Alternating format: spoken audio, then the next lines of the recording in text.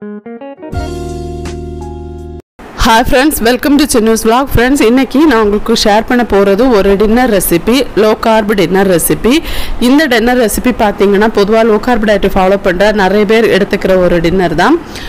High protein dinner recipe இது கண்டினியூவாக எடுக்கிறப்போ ஃபாஸ்ட்டாக வெயிட் லாஸ் ஆகும். எந்த ஒரு உணவாக இருந்தாலும் தினமும் அதே உணவு எடுத்துக்காதீங்க. மாற்றி மாற்றி எடுங்க. நம்ம நிறைய டின்னர் ரெசிபி போட்டுட்ருக்கோம். ஸோ அந்த வரிசையில் இதுவும் இன்னைக்கு போடுறேன்.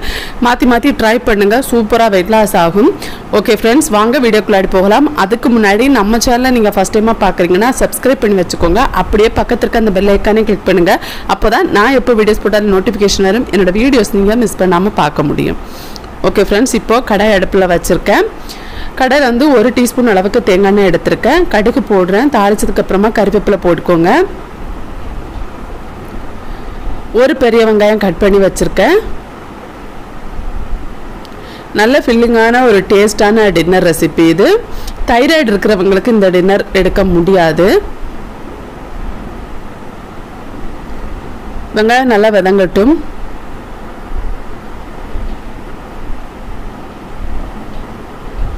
இப்போ வெங்காயம் ஓரளவு வதங்கிடுச்சு. இந்த ஸ்டேஜில் பார்த்தீங்கன்னா ரெண்டு தக்காளி கட் பண்ணி வச்சுருக்கேன். அதை சேர்க்குறேன். எனக்கு பொதுவாக பார்த்தீங்கன்னா தக்காளி எல்லாம் இந்த மாதிரி ரெசிப்பியில் போடுறது பிடிக்கும். ஏன்னா கொஞ்சம் புளிப்பு சுவை கிடைக்கும்ல அதனால். அதனால் நான் ரெண்டு சேர்த்துருக்கேன். உங்களுக்கு எப்படியோ அந்த மாதிரி அதுக்கேற்ற மாதிரி நீங்கள் பொருட்களை வந்து கூட்டி குறைச்சி போட்டுக்கலாம்.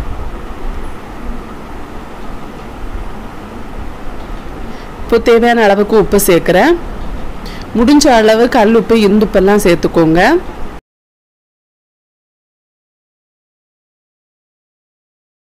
இப்போ பார்த்தீங்கன்னா தக்காளி வந்து நல்லா வதங்கிடுச்சு. இந்த ஸ்டேஜில் ஒரு கப்பு காலிஃப்ளவர் நான் கட் பண்ணி வச்சுருக்கேன். அந்த காலிஃப்ளவரை சேர்க்குறேன்.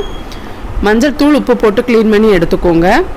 இப்போது கொஞ்ச நேரம் நம்ம இந்த மாதிரி மூடி போட்டு விட்டுட்டோம் அப்படின்னா காலிஃப்ளவர் நல்லா வதங்கிடும். ஒரு ஃபைவ் மினிட்ஸ்க்கு அப்புறமா ஓப்பன் பண்ணி பார்க்குறப்போ காலிஃப்ளவர் நல்லா வெந்துடுச்சு. இந்த ஸ்டேஜில் பார்த்தீங்கன்னா ரெண்டு முட்டை நான் சேர்த்துக்கிறேன். நீங்கள் முட்டை எடுத்துக்க மாட்டீங்க அப்படின்னா ஸ்கிப் பண்ணிக்கலாம். நான் வந்து முட்டை சாப்பிட்றதுனால சேர்த்துக்கிறேன். முட்டை எடுக்காதவங்க ஒரு ஐம்பது கிராம் அளவுக்கு பன்னீரை உதிர்த்து போட்டுக்கோங்க.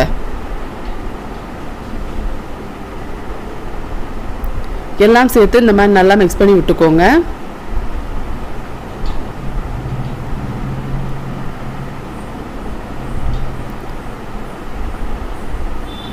இந்த ஸ்டேஜில் பார்த்தீங்கன்னா இதுக்கு மசாலா சேர்த்துக்கலாம். மல்லித்தூள் மஞ்சள் தூள் உப்பு கரம் மசாலா போட்டுக்கோங்க.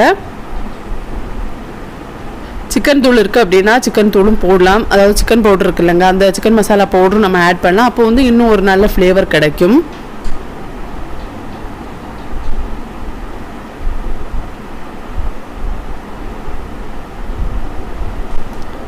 எல்லாம் சேர்த்து நல்லா மிக்ஸ் பண்ணி விட்டுட்டு அந்த பச்சை ஸ்மெல் போகிற வரைக்கும் கிளறி விட்டு அடுப்பு ஆஃப் பண்ணிட்டோம் அப்படின்னா நம்மளோட டின்னர் ரெடி ஆகிடுச்சு ரொம்ப ரொம்ப டேஸ்ட்டாக இருக்கும்.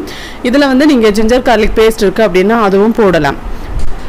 ஓகே ஃப்ரெண்ட்ஸ் அவ்வளோதான் இப்போ நம்மளோட டின்னர் ரெடி ஆகிடுச்சு இவ்வளோ தான் ரொம்ப ரொம்ப சிம்பிளான டேஸ்ட்டான ஃபில்லிங்கான டின்னர் ரெசிபி ட்ரை பண்ணிவிட்டு உங்கள் ஃபீட்பேக்கை மறக்காமல் ஷேர் பண்ணுங்கள் நாளைக்கு இன்னும் ஒரு இன்ட்ரெஸ்டிங்கான வீடியோ உங்களை சந்திக்கிறேன். அது வரைக்கும் பை ஃப்ரெண்ட்ஸ் தேங்க்ஸ் ஃபார் வாட்சிங்